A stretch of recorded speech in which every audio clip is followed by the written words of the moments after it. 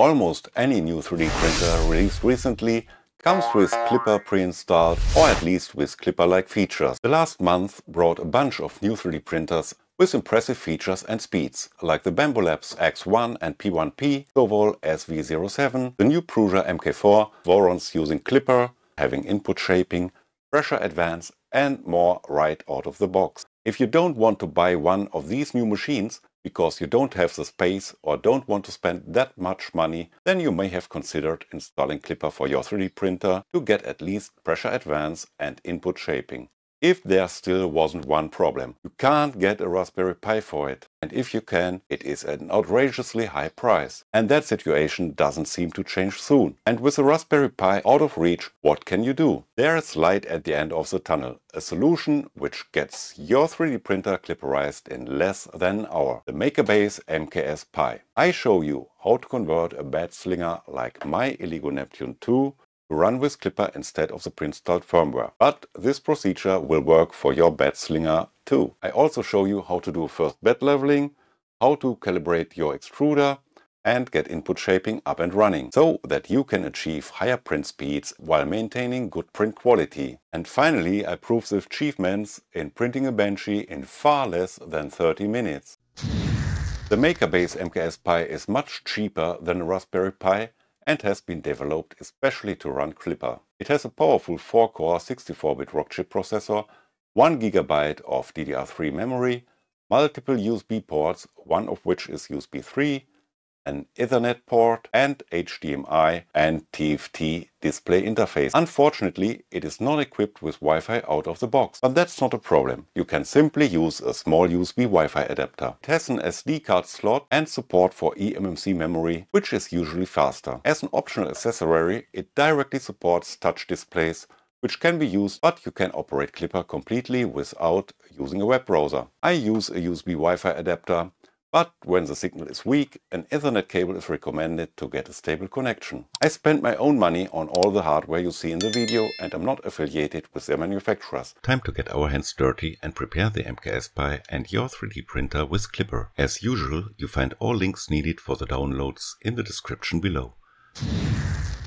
To follow this guide you will need to download and install some applications. First, Balena Etcher, which is required to write the operating system image for the MKS Pi to a microSD card or eMMC memory. Then PuTTY to directly connect to the MKS Pi and get a terminal window to issue the required commands. WinSCP, which lets you also directly connect to the MKS Pi to copy files from and to the MKS Pi in a side-by-side -side Explorer-like way. Finally, Notepad++, which allows for easy editing of files. The MKS Pi GitHub page describes how to install the system image, but assumes that you already have a Klipper-ready 3D printer. I worked my way through it to find the best approach to do the installation. I'll also explain the steps needed to compile the Klipper binary and flash it to your 3D printer's control board. Though optional, I like having a display to see and control my 3D printers, if you have one, then use the provided FFC cable and connect it to the MKS Pi's display connector. I have to say that I'm not that satisfied with the touch screen's usability. Moving the axis works, though it sometimes does not detect the touch correctly or in the wrong position. The most valuable way to connect the MKS Pi is using a network cable. I prefer Wi-Fi when possible. Since the MKS Pi does not come with onboard Wi-Fi, I use a USB Wi-Fi adapter. I show you how to set up the connection later. If you chose to use eMMC instead of an SD card, put it in the provided eMMC to microSD card adapter and follow the next steps. Download the latest system image for the MKS Pi, which is, by time of making this video, dated March 21st, 2023. MakerBase provides a Google Drive download link where you can get it. Start Balena Etcher Click Flash from File and select the downloaded zip file as source. Put the microSD card into your PC's SD card slot, eventually using an adapter. Ignore and close any additional windows popping up on the screen. Click Select Target and choose the appearing drive as target in Balena Etcher. Double check your choice to avoid overwriting the wrong one. Click on Flash to start burning the image to your microSD card. After a few minutes, the image should have been flashed successfully. Again, close any windows that appear on the screen We don't need them. If you trust your SD card, you can skip the verification to speed things up. Take the microSD card and put it into the slot of the MKSPi with the contacts facing upwards or install the eMMC to the MKSPi like shown. Unfortunately, the MKSPi's USB-C port can't be used to power it up. You have to connect a power cable to the power input connector. Either make one yourself or buy one, half a meter should be sufficient. Connect the other end to the 12 to 24 volt power supply of your 3D printer. Some control boards have a dedicated connector which you can use. Power up your 3D printer. The LED on the MKSPi should start flashing to indicate it's booting. After a short moment you should also see the boot animation on the display. Ignore the error shown. It's because you haven't prepared and connected the 3D printer yet. I found it the easiest to use the provided USB-C cable to connect the MKSPi to the computer. Start PuTTY and select Serial as connection type in the dialog. Next, you need to know the COM port that has been assigned to the MKSPi. You can look it up in the device manager. If you don't see it, unplug and replug the USB-C cable. Then you'll notice a COM device disappearing and reappearing. This is the one you have to enter in the serial line field in PuTTY. In the speed field, enter 1,500,000, looks strange but works. For later use, provide a name in the Saved Sessions field and click Open. A terminal window appears with a quote to enter the user for the MKSPi. If you don't see it, hit enter to make it appear. Type MKS for the user, then for the password type MakerBase, which is the same for the root user. And you should see the welcome screen showing you some system information. To set up your Wi-Fi connection, enter NMTUI.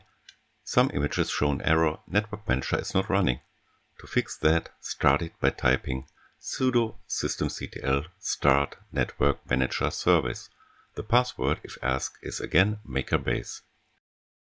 Then retry to start NMTUI. Use the keyboard arrow keys to select Activate a connection. A list of available Wi-Fi networks show up from which you select your Wi-Fi. Type in your Wi-Fi network's passphrase and confirm it. An asterisk in front of the Wi-Fi network shows that it is connected. Leave the tool by pressing the escape key multiple times until you are back at the command prompt.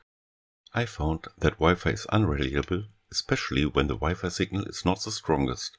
The best way to get around this is to use a network cable connected to the Ethernet port of the MKS Pi or maybe trying other Wi-Fi adapters. Sometimes the Wi-Fi won't connect after a reboot. Then unplugging and putting back in the adapter often solves the problem. Next you have to compile the klipper binary to flash to your 3D printer's control board. To find out the required settings, enter cd klipper config issue ls to see the directory contents. Besides some generic and sample configurations, you'll see several printer configurations. If your printer is among them, then you are lucky. Otherwise, things aren't hopeless, but need more investigation, which I will show in a follow-up video to this one.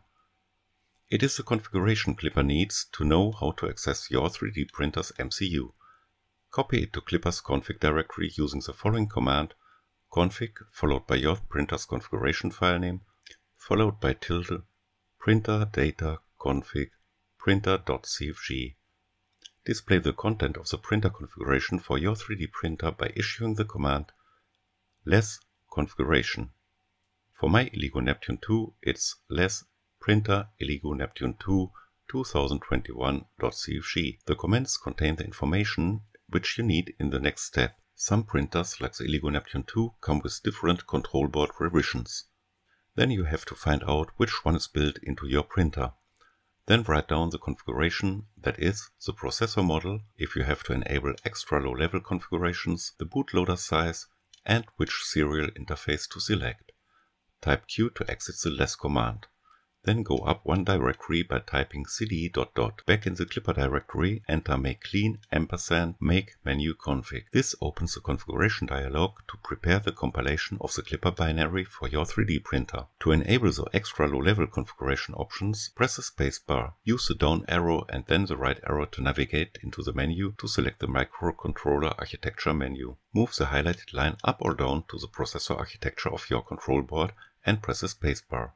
Move the selection to the processor model line and press spacebar again. Highlight the line according to the processor mentioned in the printer configuration and select it. This brings you back one level. highlight the bootloader offset line and enter the menu by pressing space. Like with selecting the processor, select the required bootloader offset line. Then you have to set the communication interface to the value mentioned in the printer config.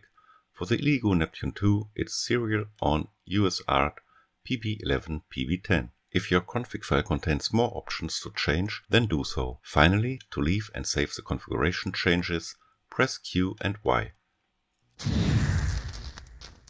In the next step, you'll have to compile the Klipper binary for your 3D printer. Just issue the command make and wait until the compilation has finished.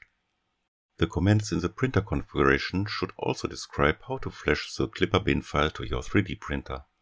Some 3D printers can be flashed directly after you connect them to the MKS Pi. For others, like the Neptune 2, depending on the installed controller board, a script has to be executed or just the file renamed. To flash a new firmware on my Elegoo Neptune 2, I need to copy the firmware to an SD card.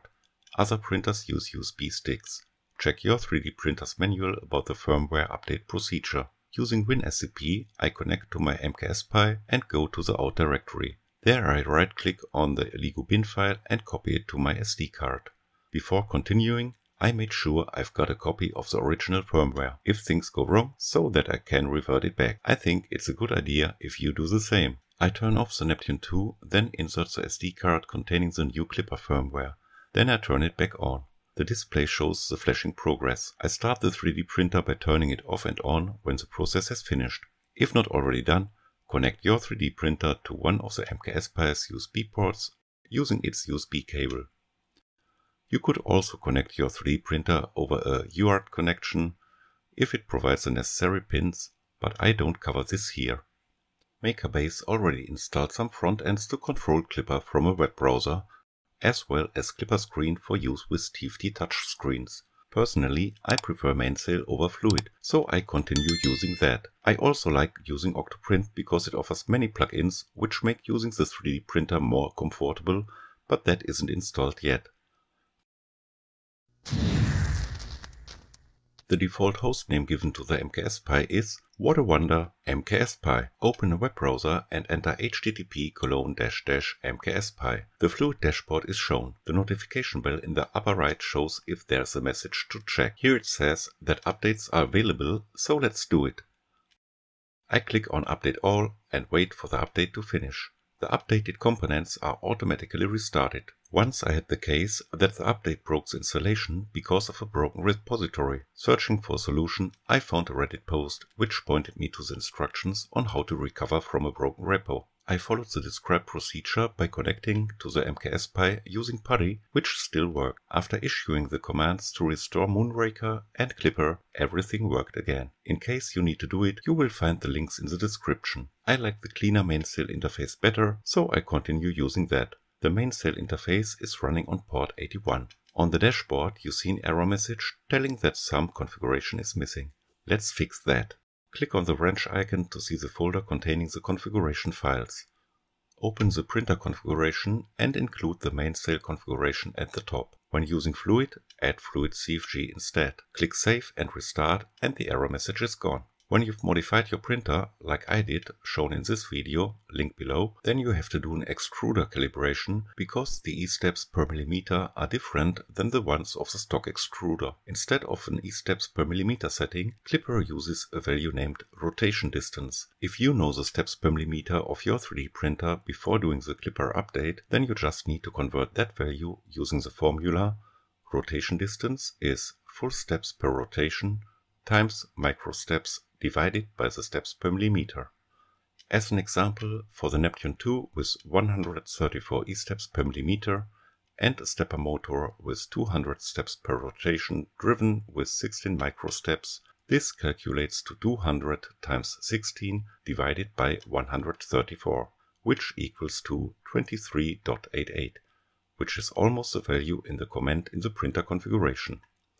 To get an exact result, first get the current rotation distance, which can be looked up in the extruder section. I'm in luck because I upgraded the Neptune 2's extruder with the one used in the 2S so that I can use the suggested value in the command. Nevertheless, I check that it's tuned correct. I do it by making a mark 70mm away from where the filament goes into the filament runout sensor. Then I heat up the nozzle to the loaded filament's printing temperature. Now I use the console in Mainsail to set the extruder into incremental mode by sending G-code G91 followed by G1, E50, F60 to request the extruder to slowly extrude 50mm of filament. When the extrusion stops, I measure the distance of the mark to the filament runout sensor. Finally, to get the rotation distance to put into the configuration, I first calculate the actual extruder distance, which is the initial mark distance minus the subsequent mark distance. And using that value, the rotation distance equals the previous rotation distance times the actual rotation distance divided by the requested extruder distance. Then I replace the existing value in the configuration with the calculated one and click on Save and Restart to use it.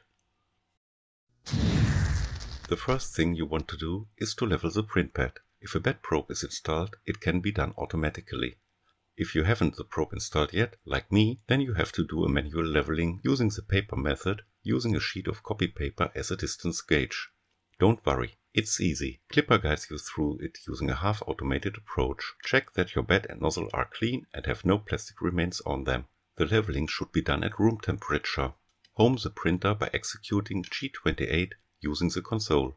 Then enter and execute bed screws adjust. The nozzle moves to the first bed screw position. Adjust it so that you can move the paper between the nozzle and the bed with a slight resistance. When satisfied, click Adjust it, which moves the nozzle to the next position. Follow the steps by either clicking Adjust it when you had to adjust the bed screw or Accept when it already felt right. Continue that way. The process automatically finishes when you accepted all bed screw positions. Alright, let's dive into the exciting world of configuring Pressure Advance in your Klipper 3D printer. Pressure Advance in Klipper is a feature that helps with the negative effects of sudden speed changes during fast printing. It reduces stringing, improves corner sharpness and maintains high print quality even when printing faster than 100 mm per second. To do so, Klipper controls the filament flow by approximating the pressure in advance during a particular print move. It slightly increases the filament flowing into the nozzle just before an acceleration move and it decreases the filament flowing into the nozzle just before the printer decelerates. Follow these steps to unlock its magic. Download the large hollow square STL from the provided URL in the Klipper documentation. To generate the test G-code, you have to adjust your slicer settings. Open your preferred slicer software. I show how to do it in Prusa Slicer 2.6. Locate the layer height setting and set it to 75% of your nozzle size. For example, if you have a 0.4mm nozzle, set the layer height to 0.3mm. Find the infill setting and set it to 0% for a solid print. Look for the speed settings and set all of them to 100 mm per second. This will allow the printer to replicate instant speed changes at higher values. Disable or set acceleration settings to zero to avoid unwanted effects. If your slicer has an auto cooling parameter, turn it off. This will prevent any slowdowns during printing that could affect the final results. Make sure to disable any machine limits or auto speed settings in your slicer to allow Klipper full control. Now open the Square Tower STL in your slicer and slice it. Check that the model will be printed with 100 mm per second in all places by selecting speed in mm per second from the legend, except for the first layer, which should be printed slower. Then export the G-code. Open the Klipper console, enter the command set velocity limit square corner velocity equals 1, accel equals 500 to enable the printer to adjust speeds at corners and highlight the pressure advance effects. If you have a direct extruder set up, input the command tuning tower command equals set pressure advance parameter equals advance start equals 0 factor equals 0.005 in the console. For a Bowden extruder setup use, tuning tower command equals set pressure advance parameter equals advance start equals 0, factor equals 0.020 instead. Now upload and print the prepared G-code. During the printing process, keep an eye on the Klipper console. Notice how the pressure advance tuning value changes with each layer. This is where the printer fine-tunes its performance. You don't have to wait for the whole print to complete. If you see the edges are getting worse, the print can be cancelled. If you let the print finish, it may look similar like one of my test prints. Once the print is complete, examine the corners of the test print. You may observe slightly hinged or bulging corners in the bottom layers and under extrusion in the top layers. Grab a caliper or ruler and measure the distance from the bottom layer to the layer with the best corner quality. Now let's calculate the pressure advance value using the formula pressure advance equals start plus measured height times factor. In my case it's 0 plus 12.6 times 0.020 which would be 0.252. Open the printer.cfg file in the configuration section. Locate the extruder settings and add the command pressure advance colon 0.252 at the end of the section. Save the changes and restart the firmware for the new settings to take effect. Since the pressure advance value heavily depends on the filament type and printing temperature, I prefer to enter that value in the start G-code section of the used filament profile in my slicer. I do that for each filament profile I have and that ensures that I always use the right pressure advance value no matter what filament I use. Being the first firmware offering input shaping is for sure one reason for Klipper's popularity. It can be done manually, but it's more fun using an accelerometer like an ADXL345, especially because the MKS already comes with an interface to connect it and has the required libraries installed by default. For a bed slinger, the measurement is done in two steps, one for the x-axis and one for the y-axis. Therefore, two mounts are required. I searched for them on printables and Thingiverse, modified them slightly to provide a better fit, and printed them. I crimped some wires according to the image on the MKSPi's GitHub page and connected them to the interface and the ADXL345. To do the y-axis input shaping, mount the accelerometer to the heatbed, then follow the excellent described steps in the documentation. Go to the printer config and add the ADXL configuration section by simply copy and pasting the parameters from the GitHub page. After save and restart, check that the accelerometer works using the command accelerometer query. Then add the resonance tester section to your printer config and change the first two values so that they are in the middle of your heatbed.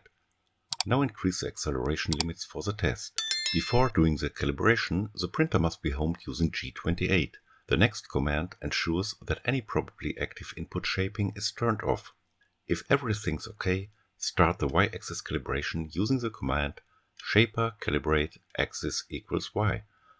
You'll see and hear how the tuning process moves the print bed at continuously higher frequencies, which are also printed in the Mainsail console. When it's finished, it calculates and determines the best values to use and recommends an input shaper suited best. Also take a note of the suggested maximum acceleration. You'll need it later to adjust the maximum acceleration in your printer config. Enter save config to update your printer configuration with it.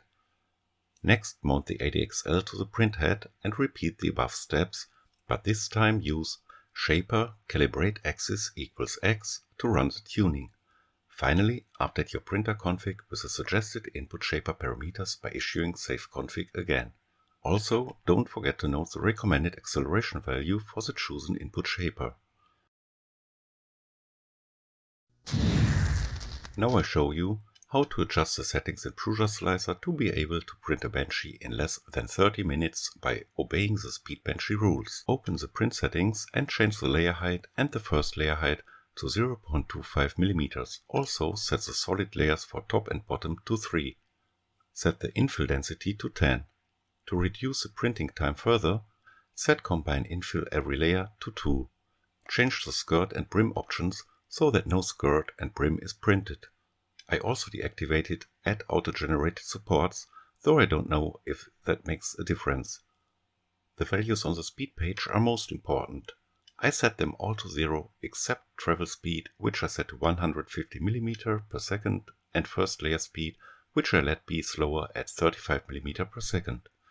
Since I want Klipper to go to the limits, I set the max print speed to 10,000 mm per second and the maximum volumetric speed to 13.5, which is almost the maximum of the volumetric flow my hot end can achieve. If the mechanical restrictions of the Elegoo Neptune wouldn't prevent me from trying it out, then upgrading the hot end with one capable of extruding three times more and setting the speed up to 500 mm per second would do it. Because we are pushing a lot of filaments through the hot end, I increase the hot end's temperature by 20 degrees to 230 degrees so that it has enough power to melt the filament.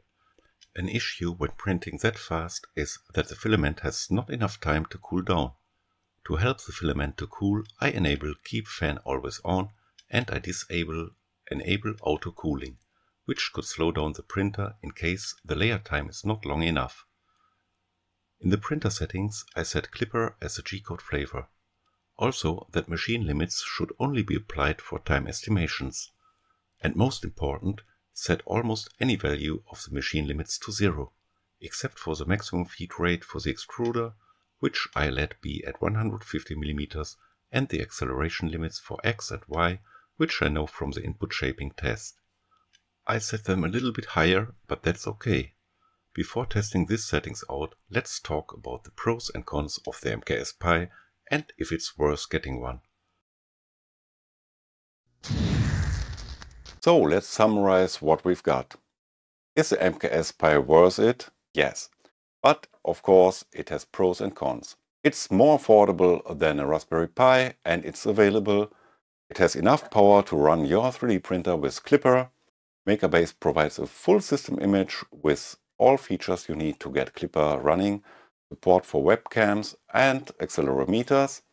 It comes with pre-installed interfaces use Klipper from your web browser. It has touch screen support. On the con side, we have it can't be powered using the USB-C port. That's really a pity. Furthermore, it doesn't provide many GPIO pins for additional usage. Just has the pins for the ADXL sensor and the other pins seem to be for debugging purposes. No Wi-Fi support on board, so you need to use a USB Wi-Fi adapter and the touch screen isn't very reliable. I put a lot of effort in making this video. You can show me your appreciation by giving me your like and subscribe to my channel so you don't miss the following episodes and also leave me your comment in the comment section. I will do my best to answer them all. That's it. Now enjoy printing at higher speeds while maintaining good print quality.